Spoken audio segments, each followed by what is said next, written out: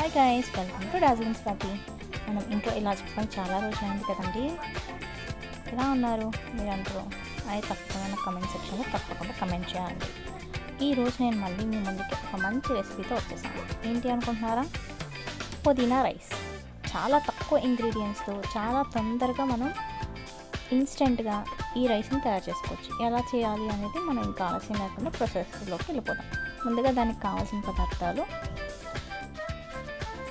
కొత్తిమీర సారీ పుదీనా మిరపకాయలు చెక్క లవంగం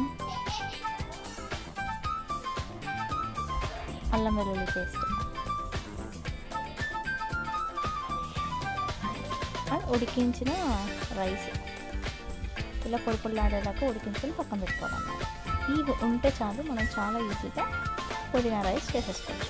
దీంట్లో ముందుగా మనం ఒక మిక్సీ జార్ తీసుకొని పుదీనా మేము శుభ్రం చేసి పెట్టుకున్నాం కదా సో ఆ పుదీనాని సరిపడినంత రైస్కి తగ్గట్టు మీ పుదీనాని అలాగే మీ స్పైసీనెస్కి తగ్గట్టు పచ్చిమిర్చిని చేసి మిక్సీ పెట్టుకోవాలి.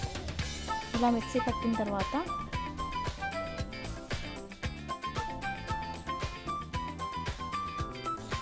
ఓ ప్లేట్లో పక్కన తీసుకొని పెట్టుకోవాలన్నమాట.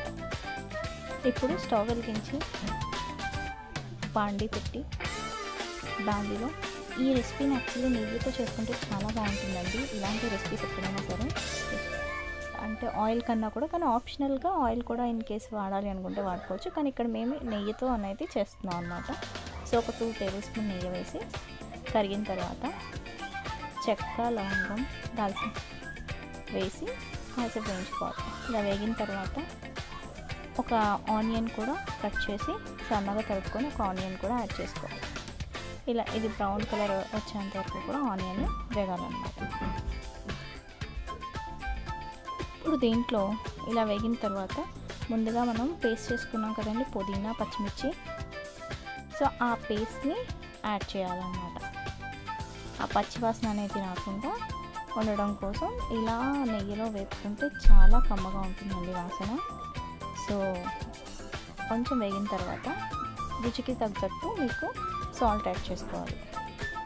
సాల్ట్ యాడ్ చేసిన తర్వాత మనం ముందుగా ఉడికించి పెట్టుకున్న రైస్ ఉంది కదండి ఆ రైస్ని ఇంకా ఈ పుదీనా గ్రేవీలో యాడ్ చేసుకొని మనం పొడి పొడి లేకుండా నీట్గా తిప్పుకోవాలన్నమాట. ఇలా కలుపుకుంటూ ఉండాలి. ఇలా కలిపిన తర్వాత ఎంతో ఎమ్మి ఎమ్మి పుదీనా రైస్ రెడీ అయిపోతుందండి. అసలు దీన్ని మనం రైతాతో కానీ సర్వ్ చేసుకుంటే ఎంత ఎమ్మీగా ఉంటుందంటే అంత ఎమ్మీగా ఉంటుంది. చూసారు కదా చాలా ఈజీగా ఉంటుంది. మీరు కూడా ఇలానే తప్పకుండా ట్రై చేయండి.